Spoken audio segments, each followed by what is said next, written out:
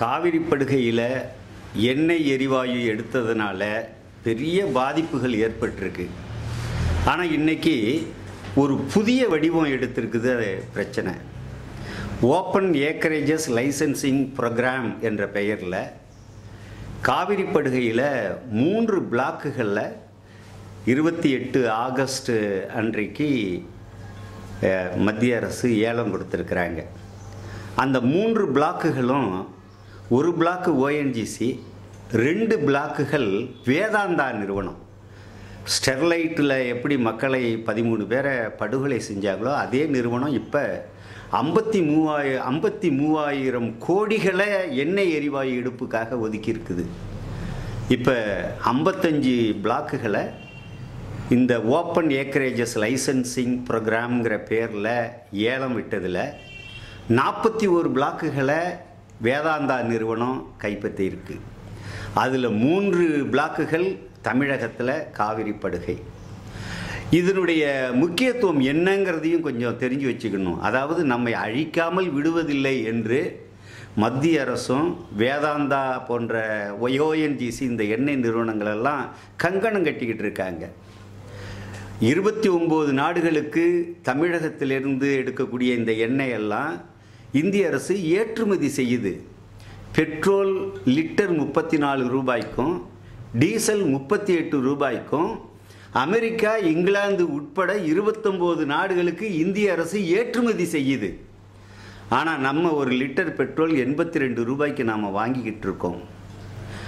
இது எடுக்கலைனாக்கா நம்ம பெட்ரோலுக்கு என்ன செய்கிறது என்ற கேள்வியை வைத்து இங்கே இருக்கக்கூடிய கனிமத்தை சூறையாடி வெளிநாட்டுக்கு கொண்டு போய் கொண்டிருக்கிறார்கள் என்பதுதான் உண்மை. இங்கே எண்ணெய் எரிவாயு எடுப்பில் தனியாரை கொண்டு வருவதற்காக நெல்ப் என்று நியூ எக்ஸ்ப்ளரேஷன் லைசன்சிங் பாலிசி என்று தனியார்கிட்ட ஒப்படைச்சாங்க. தனியார் இறங்கிய பிறகு ஹெல்ப்னு ஒரு பாலிசியை கொண்டு வந்தாங்க. ஹெல்ப்னு சொன்னாக்கா ஹைட்ரோ கார்பன் எக்ஸ்ப்ளரேஷன் லைசன்சிங் பாலிசின்னு பேர். ஒரே லைசன்ஸ் எடுத்துக்கிட்டால் போதும்.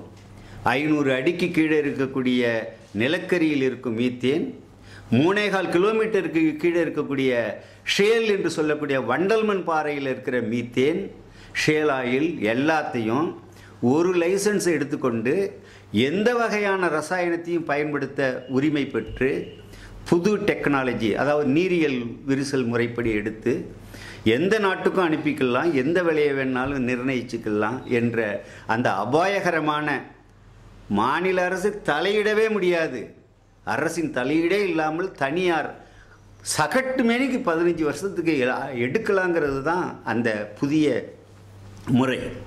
அதில் இன்னும் இப்போ லிபரலைஸ் பண்ணியிருக்காங்க. முன்னையாவது இந்தந்த பிளாக்குகள் ஏலத்துக்குன்னு சொல்லுவாங்க. இப்போ அதெல்லாம் கிடையாது. மேப்பை வச்சுக்கிட்டு வெளிநாட்டிலிருந்து வரக்கூடிய முதலாளிகள் அப்படியே பென்சிலால் மார்க் பண்ணுவாங்க. இந்த இந்த பகுதி இந்த பிளாக்குகள்லாம் எனக்கு வேணும்னு சொல்லிட்டு அவன் பிளேனில் போயிட்டான்னாக்கா இராணுவத்தை வச்சாவது பிடுங்கி கொடுக்கும் இந்திய அரசு. அந்த முறைப்படி இப்போ ஐம்பத்தஞ்சு பிளாக்குகள் ஏலம் விட்டதில் மூன்று பிளாக்குகள் காவிரி படுகையில் இந்த மூன்றும் இப்போ நடைமுறைப்படுத்தப்பட்டால் ஐயாயிரம் சதுர கிலோமீட்டர் பரப்பளவுக்கு இந்த பகுதி நாசமாகும். ஆழமற்ற கடற்பகுதியில் ரெண்டு பிளாக்கு ஒரு பிளாக்கு தரையில். ஆகவே இப்போ நாம் அறிந்து கொள்கிறபடி குள்ளஞ்சாவடியிலிருந்து தரங்கம்பாடி வரைக்கும் ஓஎன்ஜிசி ஹைட்ரோ கார்பன் கிணறுகளை அமைக்க இருக்கிறது. மரக்காணத்திலிருந்து கடலூர் வரைக்கும் ஒரு பிளாக்கும் அதன் பிறகு பரங்கிப்பேட்டையிலிருந்து வேளாங்கண்ணி வரைக்கும் இன்னொரு பிளாக்கும் வேதாந்தாவுக்கு தரப்பட்டிருக்கிறது. மரக்காணத்திலிருந்து வேளாங்கண்ணி வரைக்கும் இருபத்தி நாலு கிணறுகள் அமைக்கப் போவதாக முன்ன செய்தி வந்தது. ஆனால் ஏலம் நின்று போனது. இப்போ ஏலம் விட்டுட்டாங்க. நூற்றுக்கணக்கான கிணறுகளை அமைப்பார்கள் இந்த பிளாக்குகளில். ஆகவே நமக்கு வேறு வழி இல்லை. எழுந்து போராடுவதை தவிர தமிழக அரசு இதை ஏற்கக்கூடாது. தடுத்து நிறுத்த வேண்டும். மக்கள் அவரவர்கள் ஊர்களை பாதுகாப்பதில் குறியாக இருக்க வேண்டும். குறிஞ்சிப்பாடி ஆலப்பாக்கத்தில் ஒரு கிணறு நிச்சயமாக வருது. சாத்தப்பாடியில் ஒரு கிணறு. புவனகிரியில் மட்டும் ஆறு எண்ணெய் கிணறுகள். சிதம்பரத்தில் மூணு. இதெல்லாம் கடலூரில் மட்டும் நான் இப்போ சொன்னது. ஆகவே அபாயம் நமது மாநிலத்தினுடைய கதவை தட்டுகிறது. விழிப்பாக இருக்க வேண்டும். அனுமதிச்சிட்டோம் நாம் அகதிகள் வெளியேறித்தான் ஆகணும். நச்சு காடாக மாறிப்போகும். வேளாங்கண்ணி வரைக்கும். நாகை மாவட்டம் இப்போ பரங்கிப்பேட்டையிலிருந்து வேளாங்கண்ணி வரைக்கும் வருது இல்லையா? அது வந்து நாகை மாவட்டத்தை உள்ளடக்கியது. கடலூர் மாவட்டத்தையும் நாகை மாவட்டத்தையும் உள்ளடக்கியது. எங்கே கிணறுகள் வருவதுங்கிறத இன்னும் சொல்லலை. ஒரு பிளாக் என்பது ரெவன்யூ பிளாக் மாதிரி இல்லை. அது ஷேல் ஃபார்மேஷன் பிளாக் மிக நீண்ட தூரத்துக்கு வரும். அந்த பகுதியில் வந்து இவர்கள் கிணறு அமைக்கிறதா இருக்காங்க. ஓஎன்ஜிசி உங்களுக்கெல்லாம் சொல்லிக்கிட்டு வந்தாங்க எங்களுக்கு ஷேல் மீத்தேன் எடுக்கும் திட்டம் கிடையாது எங்களுக்கு மீத்தேன் திட்டம் கிடையாதுன்னு. அப்பட்டமான பொய்.